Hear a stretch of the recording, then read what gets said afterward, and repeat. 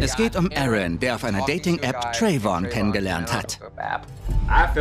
Er ist sprichwörtlich meine bessere Hälfte, aber ich bin verlobt.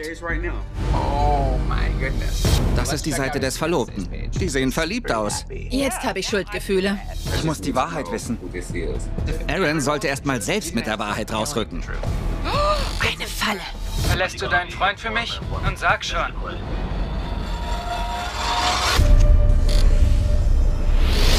Bereit? Können wir starten? Klar. Hey, ist das schön. Dürfen wir das? Hey, wir sind geimpft. Ja, ein Glück. Allerdings. Zuerst möchte Cleo dir noch Hallo sagen.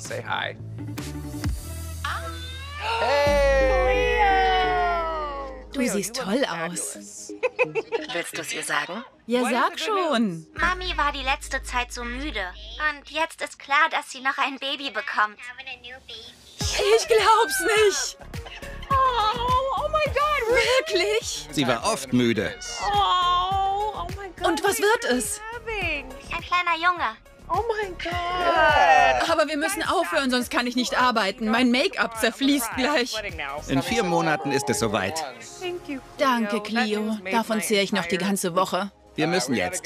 Ich liebe euch.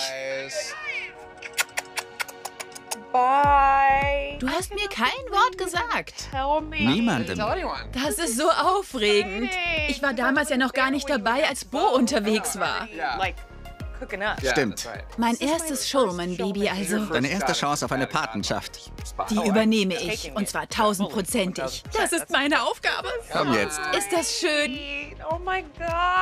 Ich liebe Babys, die riechen so toll. Wieder zwei Showman-Brüder in der Pipeline. Wundervoll. Diese Mail ist gerade gekommen. Hallo, ich heiße Aaron, bin 30 und lebe in Dallas in Texas. Ich wende mich an Catfish, weil ich mich in einer haarigen Sackgasse befinde. Das sind zwei Wörter, die ich nicht unbedingt zusammenfügen würde. Das Bild, das ich jetzt vor mir sehe, hätte ich lieber nicht im Kopf. Danke. Vor neun Monaten habe ich Trayvon über eine Sex-App kennengelernt. Ich hatte mich gerade getrennt und wollte nur Spaß. Aber mit uns ging es sofort total verrückt ab.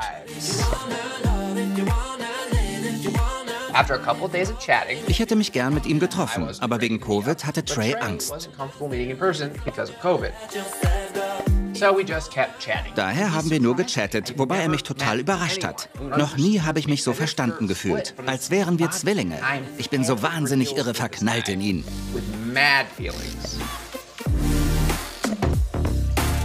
Verrückt, wahnsinnig, irre, total gaga der Mann. Mir gefällt, wie er schreibt. Ich habe viele Versuche unternommen, mit ihm zu telefonieren, zu Videochatten oder sich zu treffen. Aber dazu lässt er es einfach nicht kommen. Ich war so begeistert, als er ein Date wollte. Aber er hat mich versetzt. Dadurch habe ich langsam Zweifel bekommen. Aber dann passierte etwas, das mich völlig aus der Bahn geworfen hat und auch meine Zukunft mit Trayvon in Frage stellt. Sagt er jetzt was? Los, raus damit! Mann, Aaron. Aber ich kann den Kontakt nicht abbrechen. Ich bin jetzt in einer echten Zwickmühle, denn es gibt etwas, das Trayvon nicht weiß und ich habe Angst, es ihm zu sagen. Ihr seid meine einzige Hoffnung auf Glück.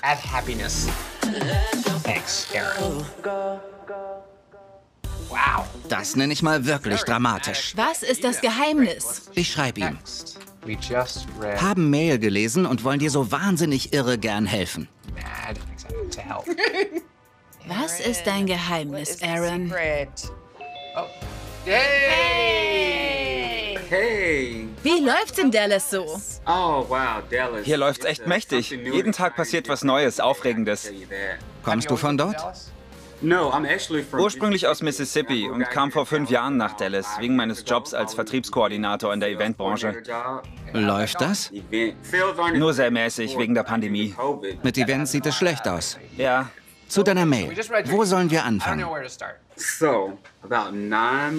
Vor neun Monaten habe ich Trayvon durch eine Sex-App kennengelernt. Ich kam gerade aus einer längeren Beziehung und suchte eigentlich nichts Festes. Nur so aus Spaß einfach mal schauen, was die Fleischtheke so hergibt. Say. Sie weiß, was ich meine. Ich sehe mich also um und entdecke da Trayvon, den ich auf Anhieb mochte und wo auch gleich so ein Vibe da war. Von Anfang an fühlte sich das ganz einmalig an. Ich beschäftige mich viel mit griechischer Mythologie. Da heißt es, dass Menschen ursprünglich zwei Köpfe hatten und sich einen Körper teilten. Aber Zeus hat einen Blitz geschleudert und sie in der Mitte zerteilt, sodass die Menschen von nun an ihr Leben lang diese andere Hälfte suchen. Ich hatte das Gefühl, mit Trayvon meine andere Hälfte gefunden zu haben. Unglaublich. Ihr wohnt beide in Dallas, nicht wahr? Er ist auch hier in der Stadt und wir haben mehrfach versucht, uns zu treffen, bevor der Lockdown kam. Nach all den Enttäuschungen habe ich einfach mal meinen Ex Hakim kontaktiert. Jetzt sind wir wieder zusammen und er hat mir einen Heiratsantrag gemacht. Bist du verlobt? Das bin ich. Aber ich habe weiter mit Trayvon Kontakt. Mit Ring? Na klar. Und jetzt bin ich hin und her gerissen zwischen zwei Menschen. Ich möchte nicht die Chance verpassen, glücklich mit jemandem zu werden, der mich wirklich versteht, anstatt mich nur mit dem, was ich habe, zufrieden zu geben.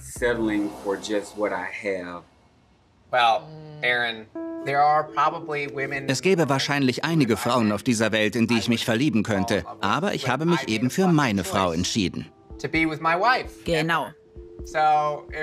Wenn du dafür noch nicht reif bist. Wir sind noch nicht verheiratet, wir sind verlobt. Stimmt.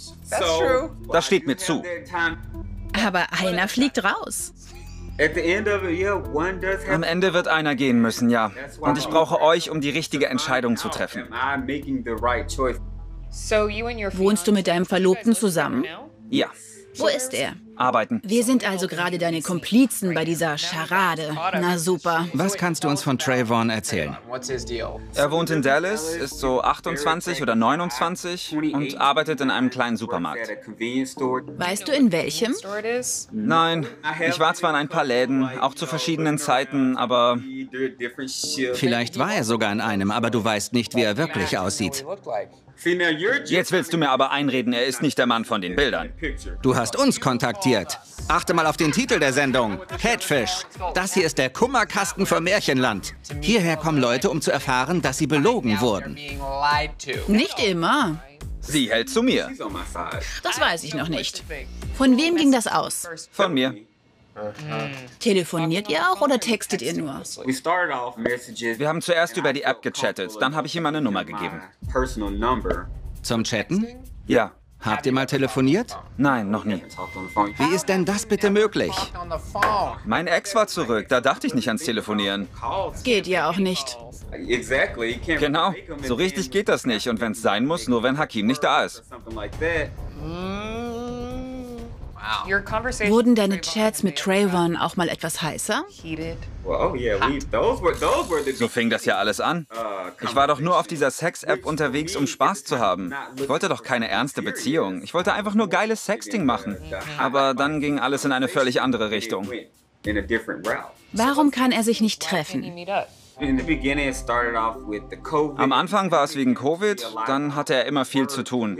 Aber dann schreibt er wieder, lass uns nach der Arbeit auf einen Drink treffen. Und wenn ich dann Schluss habe, antwortet er nicht mehr. Am nächsten Tag kommt dann, oh, ich war so müde, ich bin eingeschlafen. Ich habe das Gefühl, er ist in einer Beziehung und nicht unbedingt, dass er ein Catfish ist. Er ist nur in derselben Situation wie ich. Verstrickt. Genau wie Will und Jada.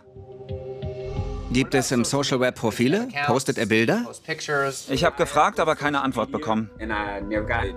Und sein Sex-App-Profil? Die App musste ich löschen. Ach, du bist ja verlobt, richtig. Ich möchte wissen, wie Trayvon aussieht. Alles klar. Süß, was? Allerdings. Ein schönes Gesicht. Die kamen im Chat? Ja. Ich habe eine Frage. Wenn wir Trayvon finden und er ist echt und lebt in Dallas und es stellt sich heraus, dass er auch in so einer Beziehung war, die jetzt aber beendet ist und er möchte in Zukunft mit dir zusammen sein, ist dein Plan, die Verlobung dann zu lösen? Mein Plan ist, ihn zu treffen und dabei herauszufinden, wohin das Ganze gehen könnte. Aber so wie ich jetzt für ihn empfinde, werde ich meine Verlobung wahrscheinlich lösen, um mit ihm zusammen zu sein.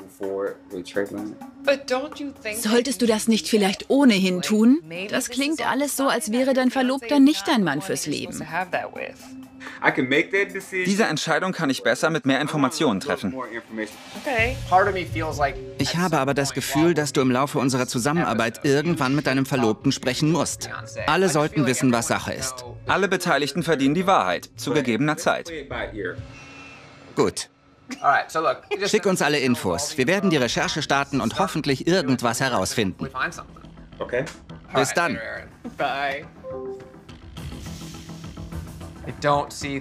Ich sehe kein Happy End für Aaron. Und das Verrückteste ist, wenn wir Trayvon finden und er echt ist und er dann erfährt, dass Aaron ihn belogen hat, will der vielleicht nichts mehr von ihm wissen. Das ist eine Lose-Lose-Situation. Und ausziehen muss er dann auch. Auswandern.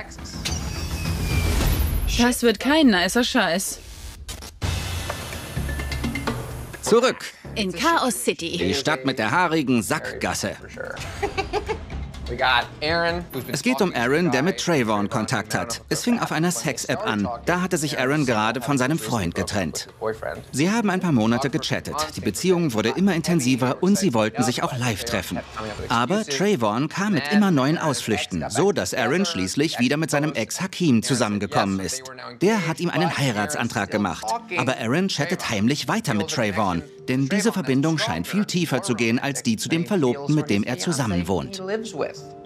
Sicher ist Aarons Verlobte ein zauberhafter Mensch. Aber die Verlobung muss gelöst werden. Aaron sollte für mein Gefühl erstmal Single sein. Ja. Mal sehen, ob Aaron schon was geschickt hat. Ja. Hallo Neve und Kami, danke für das Gespräch vorhin. Hier sind die Infos zu Trayvon. Sein Nachname ist Allen und er lebt in Dallas in Texas. Das ist seine Nummer. Social Media hat er nicht, aber hier die Bilder, die er mir geschickt hat. In Hoffnung. Zuerst die Bildersuche. Nummer 1. Unbekannt. Nichts. Auch nichts. Eins haben wir noch. Mist. Die Bildersuche ergibt also nichts. Ich möchte mir Aarons Facebook ansehen, denn ich habe das Gefühl, wir müssen alles untersuchen. Seine Seite. Wo hast du deinen Schatz versteckt? Hier, er ist verlobt. 26. März. Ich habe einfach zu viel Spaß mit ihm. Und Hakim antwortet, ich liebe dich, mein böser Hase. Ich check mal die Seite seines Verlobten. Das ist er. Er hat Aarons Namen auf dem Fingernagel? Ich habe seit Jahren keinen Namen eines Freundes auf den Nägeln. Und davor? Klar, in der Highschool. Wenn es drei Wochen hielt, war es was Ernstes. Die sehen verliebt aus. Stimmt. Jetzt habe ich Schuldgefühle. Musste das sein? Voll verliebt. Na super. Ich fühlte mich sowieso nicht wohl dabei. Aber jetzt sehe ich auch noch, wie süß die beiden zusammen sind. Tja, dann checken wir mal die Telefonnummer. Die ist registriert auf Paris. Sieh mal den Provider. Oh ja, und es ist ein Festnetzanschluss. In Texas von einer Person namens Paris, die 38 ist. Spannend.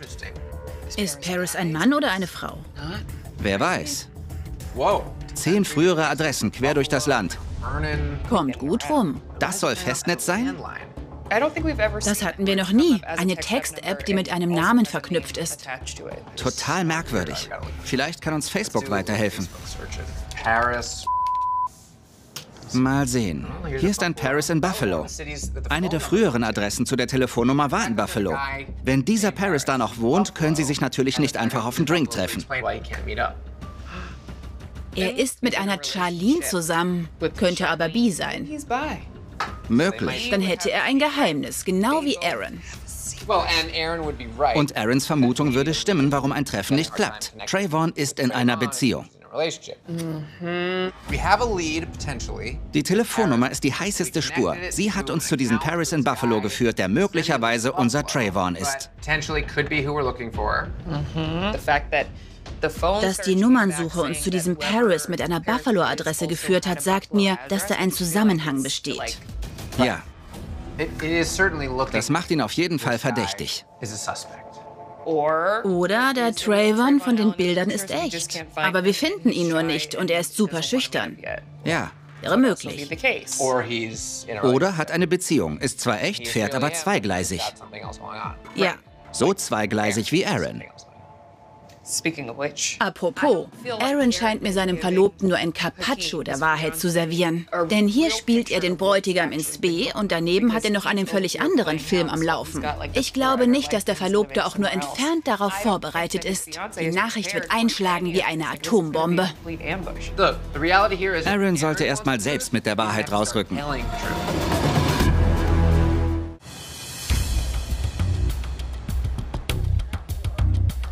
Wir sollten jetzt noch mal mit Aaron sprechen. Vielleicht kommen wir so der Sache näher. Ich schreibe ihm schnell. Also ich habe das Gefühl, Aaron weiß, wer dieser Paris ist, der bei unserer Telefonnummernsuche rauskam. Da ist eine Verbindung. Hallo. Und was hast du die letzten Stunden so getrieben? Ich habe mir in einer Tour nur den Kopf zerbrochen. Gut. Wir haben gesucht und auch etwas gefunden, wissen aber nicht so ganz, was davon zu halten ist. Wir hoffen, du kannst vielleicht was damit anfangen. Ich teile mal den Bildschirm und zeige dir der Reihe nach, was wir gemacht haben. Zunächst die Bildersuche, die zu keinem Ergebnis führte. Aber dann wird's spannend. Wir haben die Telefonnummer gecheckt. Okay. Und die ist registriert auf eine Person namens... Klingelt da was? Na und ob? Ich sagte doch, dass es da eine Verbindung gibt. Nun erzähl schon, Aaron. Das ist mein Verlobter. Ja, Das gibt's nicht, aber... Der soll doch Hakim heißen. ist sein Künstlername. Sein Künstlername ist Hakim Davenport. Eigentlich heißt er Paris. Oh my God. Moment mal. Ja, ich weiß, das muss jetzt ein bisschen verwirrend für euch sein. Das ist sein echter Name? Actual name? Yeah. Well then, I guess Dann ist Trayvon schätzungsweise dein Verlobter, denn auf dessen Namen läuft die Nummer. the phone number comes back to that name. Ach du Scheiße. Goodness. Damit ist die Sackgasse enthaart, brennt aber wie Feuer. Woher kommt der Nachname? Eine berühmte Drag Queen hieß Davenport. Ach so. Wow. Was denkst du jetzt?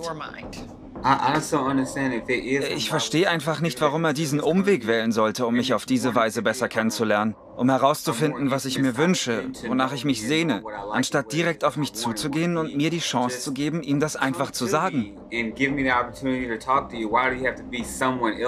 Warum brauchst du dieses Versteckspiel, durch das ich nicht weiß, ob ich zwischen zwei Menschen oder einem irre gespaltenen Menschen hin und her gerissen bin? Nicht so schnell. Ich nehme jetzt zwar genauso wie du an, dass dein Verlobter Trayvon ist, aber wir sollten nicht vergessen, dass die Nummer als Text-App gekennzeichnet ist. Und wir hatten noch nie eine Text-App-Nummer, die zu einem Namen führte. Stimmt.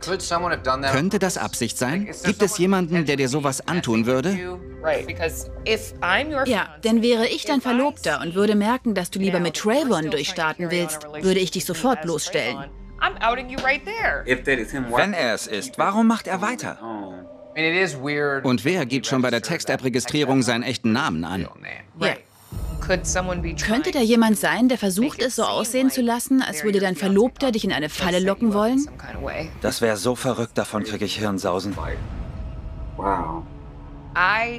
Das beunruhigt mich jetzt wirklich. Wann kommt Paris von der Arbeit zurück? In ein paar Stunden. When Paris gets home tonight, Wenn er heute Abend nach Hause kommt, wird das unweigerlich schräg werden. Auch er wird das spüren. Und anstatt dass ihr beide das dann zu klären versucht oder sogar deswegen anfangt zu streiten, sollten wir der Nummer lieber jetzt schreiben und sehen, wie er reagiert.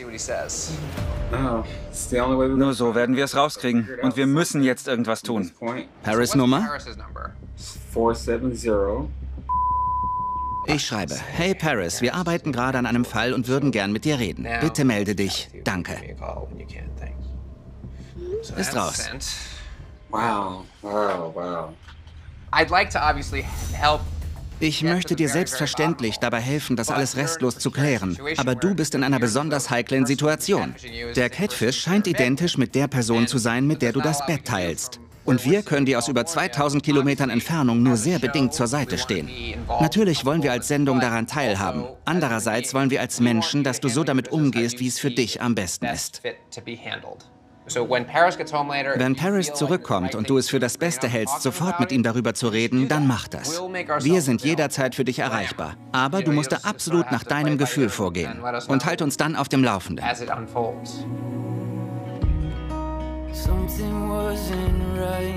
Ist das krass.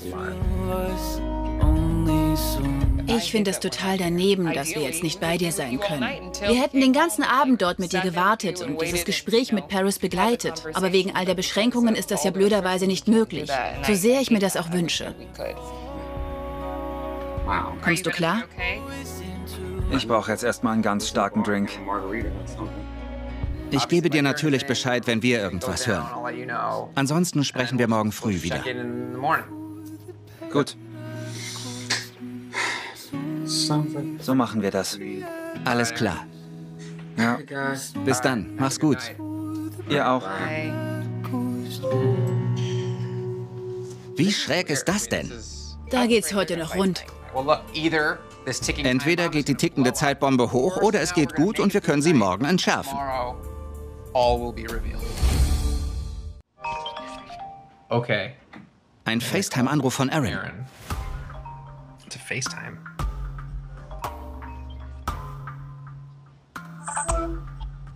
Was gibt's? Er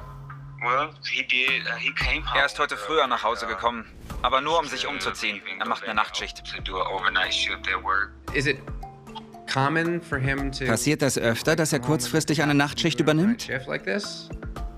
This? Aha, Aber er wirkte nicht so, als hätte er eure Nachricht bekommen. gut. Aber war es schräg für dich? Sehr schräg. Wow, alright, interesting. Das ist wirklich spannend. Am besten du versuchst ein bisschen zu schlafen und dann sehen wir, was morgen passiert. Vielleicht klärt es sich dann. Yeah. Gute Nacht. Ja, dir auch. Hallo. Guten Morgen. Es gibt was Neues.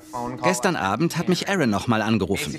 Harris war unerwarteterweise früher von der Arbeit zurückgekommen, hat sich aber nur umgezogen und ist wieder los zu einer Nachtschicht. Und das hier ist mit keinem Wort erwähnt worden. Verdächtig. Denn er kann unmöglich nach dieser Nachricht von dir zu Hause auftauchen, ohne ein Stell dir mal vor, was mir heute passiert ist. Was mir ganz klar sagt, dass Paris damit zu tun hat. involved in this. Er muss. Mal sehen, wie es bei Aaron aussieht. Ich weiß nicht. Soll mir Aaron jetzt leid tun? Oder soll mir Paris leid tun? Oder Trayvon? Ich weiß überhaupt nicht mehr, wie ich gefühlsmäßig dazu stehen soll. Hello. Hallo, da bin ich. Hey, Wie geht's dir, Aaron? Du wirkst so ein bisschen... Bedrückt. Yeah. Yeah. Um, rough night, actually. Ich hatte eine unruhige Nacht. Neve hatte ich ja schon erzählt, dass Paris mit keinem Wort eure Nachricht erwähnt hat, als er reinkam. Und ich habe ihn auch nicht darauf angesprochen. Er meinte nur, er bräuchte ein paar Klamotten und müsste dann wieder zurück zur Arbeit. Die Nachtschicht ist doch rum. Ja, die ist vorbei. Und schläft er jetzt gerade? Nein, Wo ist er? Keine Ahnung. Aber ein Gefühl hast du. Mein Gefühl sagt mir, dass ich jetzt wissen muss, wer dahinter steckt. Ob nun Paris oder jemand anders. Aber bis heute Abend muss ich es wissen. Auf meine Nachricht hat er ja nicht reagiert. Willst du ihm nicht mal schreiben? Hey, können wir mal reden? Kommst du wieder nach Hause? Vielleicht bewegt das was bei ihm. Ich habe ihn gefragt, wo er ist. Tja, Okay. Hat er das gesehen? Schreibt er? Gesehen ja, aber er schreibt nicht. Was meint ihr? Wie groß ist die Wahrscheinlichkeit, dass Paris überhaupt nichts mit der ganzen Sache zu tun hat? Ich denke, die nimmt mit jeder Sekunde ab, die er sich nicht meldet. Nach gestern Abend liegt nahe, dass er es ist. Dabei hatte ich genau das Gegenteil gehofft. Eine Nachricht. Und? Trayvon schreibt mir. Ach, bitte. Jetzt wird's langsam zu verrückt. Is this Paris? like, Will Paris jetzt den Fake retten, indem er so wie immer als Trayvon textet? Und wie immer antwortet Aaron. back? what am I? What am I gonna do? Was soll ich denn sonst machen? Mir reicht's. Ich will jetzt sofort und direkt die Wahrheit wissen. Pistole auf die Brust. Oh, oh. Du rufst ihn an? Ja. Straight. Ja? Trayvon hier. Wer ist da? Aaron. Er würde doch Paris Stimme erkennen. Der hat bestimmt jemand anders vorgeschickt. Ich muss mit dir über was reden. Ich warte jetzt schon lange darauf, dich endlich zu treffen. Wir hatten es immer wieder vor und dann hast du abgesagt. Aber ich muss jetzt von Angesicht zu Angesicht mit dir sprechen. Wenigstens auf Zoom vielleicht? Dazu habe ich im Moment echt keine Zeit. Wir können uns sehen, aber nicht jetzt. Weil du so gar keine Zeit hast, sage ich dir jetzt kurz, was Sache ist. Ich bin wieder mit meinem Ex zusammen. Wir sind verlobt und die Hochzeit ist für Ende des Jahres geplant. Aber ich habe sehr starke Gefühle für dich. Oder ich hatte sie jedenfalls. Und ich will wissen, ob das von deiner Seite aus wirklich ernst gemeint war oder ob sich das alles sowieso in Luft auflösen sollte. Du willst ihn echt für mich verlassen? Verheimlichst du mir irgendwas? Verlässt du deinen Freund für mich? Nun sag schon. Ich bin zu einem Treffen bereit, wenn du ihn verlässt. Du stellst mir ein Ultimatum? Beim ersten Mal, wo wir wirklich reden? Okay, Vorschlag. Wenn du deinen Freund verlässt, treffen wir uns und ich erzähle dir alles. Sag ja. Sag nein. Ja, ich werde ihn verlassen. Abgemacht.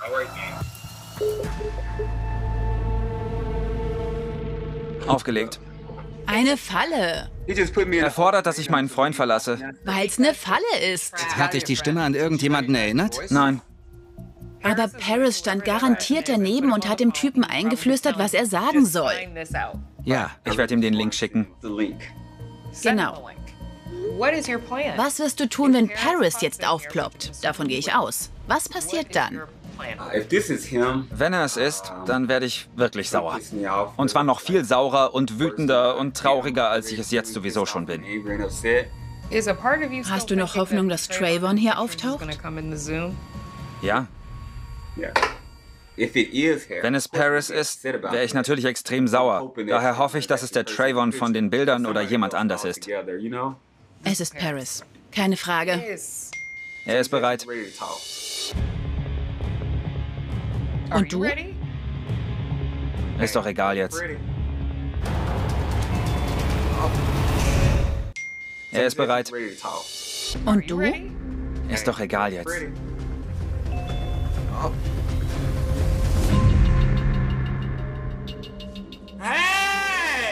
Wie kannst du nur so eine Scheißnummer abziehen? Ja, da schluckst du was. Du hättest nur einmal mit mir reden müssen. Was soll diese Scheiße mit so einer Fake-Identität? Wir haben beide gelogen. Ich bin ich und ich bin immer nur Aaron gewesen, niemand anders. Jetzt hör mal zu. Du hast dich an wen rangemacht? Rangemacht? An Trayvon hast du dich rangemacht. Nenn ruhig seinen Namen. Aber hast du mir jemals von Trayvon erzählt? Was? Du bist doch Trayvon. Ich wollte wissen, ob du während unserer Beziehung irgendwas anstellst. Ich will dich immer und überall im Auge behalten. Ich sagte euch doch, er ist verrückt. Ich sitze hier und kann nicht glauben, dass es jemanden gibt, der mich in einen derartigen Zwiespalt stürzt. Gerade wo wir bald heiraten. Wenn du das tust.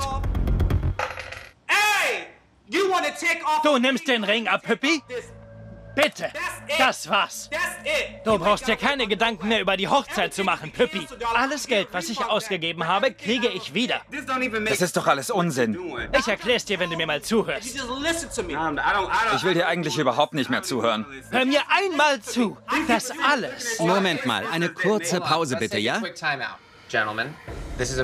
Das ist ein sehr emotionales und schwieriges Gespräch, wie wir sehen. Aber so kommen wir nicht weiter. Würdest du, Aaron, bitte Paris seine Sicht der Dinge darstellen lassen, auch wenn es schwerfällt? Wenn ihr euch die Scheiße anhören wollt, bitte. In den letzten neun Monaten habe ich sehr intensiv darüber nachgedacht, ob Aaron wirklich der Richtige für mich ist. Ich bin sehr viel unterwegs mit den Shows, die ich mache, und da habe ich keine Ahnung, was er treibt.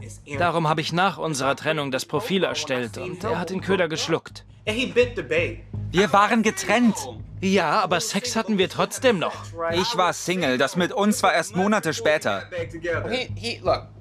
Du kannst ihm nicht vorwerfen, dass er andere Kontakte hatte, wenn ihr nicht in einer festen monogamen Beziehung seid.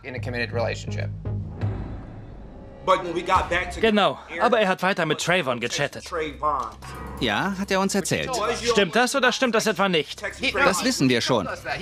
Ja, das habe ich. Ich habe mit dir gechattet. Also, hier hat niemand absolut recht. Weder du noch Aaron. Wolltest du eine emotionale Verbindung zu Aaron herstellen oder ging es nur darum, ihn in eine Falle zu locken? Ich wollte durch Trayvon wissen, was Aaron macht, wenn ich wegen meiner Auftritte in den Shows kreuz und quer im ganzen Land unterwegs bin.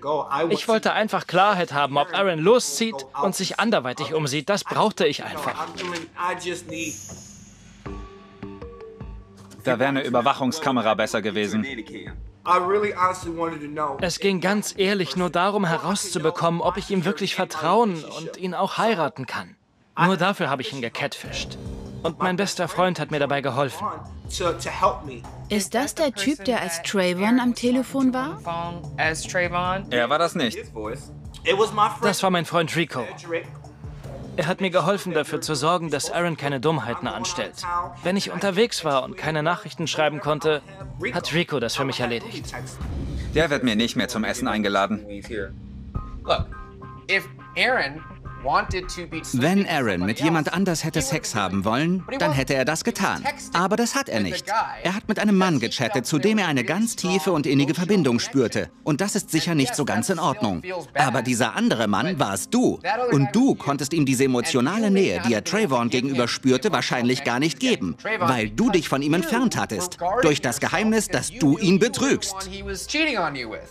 Wenn Trayvon einfach verschwunden wäre, als ihr wieder zusammen wart, und du hättest die ganze Energie dafür aufgewendet, Paris und Trayvon in einem Paket für Aaron zu sein, hätte vielleicht alles perfekt werden können. Ich stimme dir zu und ich will Aarons Parallelbeziehung nicht entschuldigen. Aber du hast großen Anteil an dieser Situation. Du vor allem hast das Problem geschaffen und es am Leben erhalten. Es tut mir leid, ich kann nicht mehr. Du vor allem hast das Problem geschaffen und es am Leben erhalten. Es tut mir leid, ich kann nicht mehr.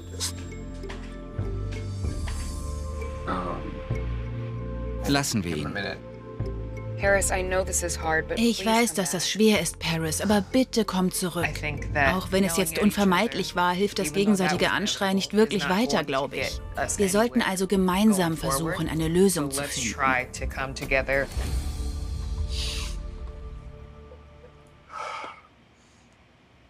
Entschuldigt.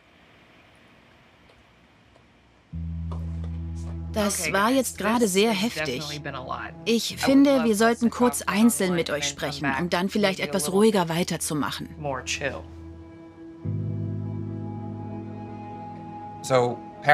Bleib du hier, Paris. Und Aaron, du gehst bitte währenddessen in den Warteraum. Wir holen dich gleich zurück. Hi. Wir haben uns noch gar nicht vorgestellt. Ich bin Kami, das ist Neve und die ganze Situation hier ist der Wahnsinn. Mir ist das alles peinlich und ich schäme mich. Aber niemand kann sich vorstellen, was ich durchmache. Jede Beziehung ist anders. Und im Moment gehen die Gefühle gerade mit mir durch. Du hast gesagt, während ihr getrennt wart, habt ihr weiter Sex gehabt, so wie vorher. Vielleicht ein, zwei Mal, aber nicht täglich. Wir mussten uns einfach trennen. Aber ich habe dann mit keinem anderen was angefangen. Und als ich ihn in der App gesehen habe, tat mir das sehr weh. Hat Trayvon nur mit Aaron gesprochen? Ja. Das ist alles ziemlich verfahren. Und das ist nicht allein deine Schuld, das seid ihr beide. Du hättest Trayvon nicht erschaffen sollen und er hätte nicht immer weiter mitmachen sollen. Es tut mir wirklich aufrichtig leid. Einfach weil ich Aaron so liebe und weil ich alles für ihn tun würde. Wie sieht die Sache jetzt für dich aus? Er wollte ja, dass wir die Ringe abnehmen. Naja, wir sagen alle in solchen Momenten Dinge, die wir nicht wirklich so meinen. Wäre es denn deine Wunschvorstellung, dass ihr beide es schaffen würdet, das zu klären und weiter zusammen zu bleiben? Möchtest du das? Ich wäre wirklich sehr gerne wieder mit Aaron zusammen. Aber ich weiß nicht, wer dazu steht, nach allem, was ich getan habe. Und ich glaube, ich muss mich meiner krankhaften Eifersucht ernsthaft stellen, damit sich etwas ändert und wir uns wieder etwas mehr vertrauen können. Das halte ich für sehr vernünftig. Ihr habt beide Fehler gemacht, doch das wäre alles nicht passiert, hättest du nicht Trayvon erfunden. Das ist der ideale Zeitpunkt. Die Schutzschilder sind runter, die Emotionen sind klar und direkt. Ihr solltet euch jetzt sagen, was ihr euch zu sagen habt. Sollen wir Aaron holen? Gut, jetzt sind wir alle wieder zusammen.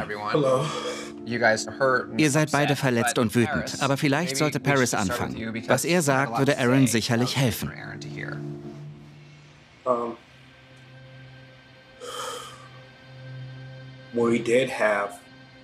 Nach unserer Trennung habe ich dich sofort vermisst, denn ich habe dich immer noch geliebt.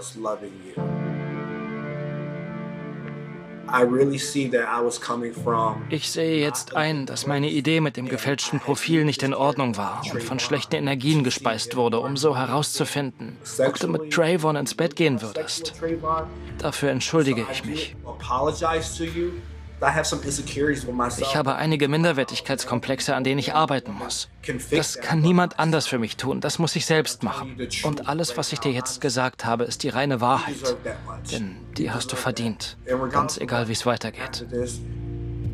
Es tut mir leid. Ja. So, ich habe Schuldgefühle, dass ich immer weiter mit Trayvon geredet habe, womit ich dich verletzt habe. Und dafür entschuldige ich mich. Denn ich würde dir niemals mit Absicht wehtun. Aber das Schöne an den Chats mit Trayvon war, dass er mir mehr zugehört hat und mehr auf meine Bedürfnisse eingegangen ist. Es ging nicht immer nur in einer Tour um dich und das, was du machst und was du willst. Um mit jemandem eine Beziehung zu haben, muss da mehr Gleichgewicht sein. Und das sehe ich hier nicht. Vielleicht habe ich zu viel Energie auf die Illusion verwendet. Alles nur, damit Trayvon immer mehr über dich herausfindet. Aber diese Energie und die Zeit haben letztlich für dich gefehlt. Zeit, die wir zusammen hätten verbringen können. Es darf nicht immer nur um mich gehen. Es geht um uns und manchmal auch nur um dich. Mir ist klar, dass im Moment alles ziemlich verfahren ist, aber ich möchte den Weg gerne weiter mit dir gehen. Möchtest du das auch mit mir?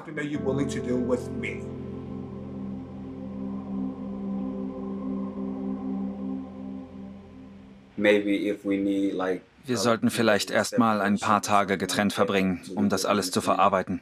Aber ich möchte mit dir zusammenbleiben. Ich bin mir sicher, dass es einen Sinn hat, dass wir zusammenbleiben und an unserer Beziehung arbeiten. Und außerdem möchte ich auch den Weg mit dir weitergehen.